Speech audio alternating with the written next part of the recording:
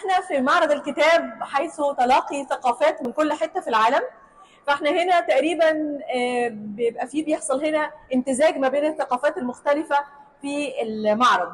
وكذلك الطعام الطعام أيضا يخضع لهذه الفرصة إنه يمتزج الشرق بالغرب. فالنهاردة هنعمل آه، وصفة لذيذة. هي وصفة مقبلات إيطالي البروسكيتا.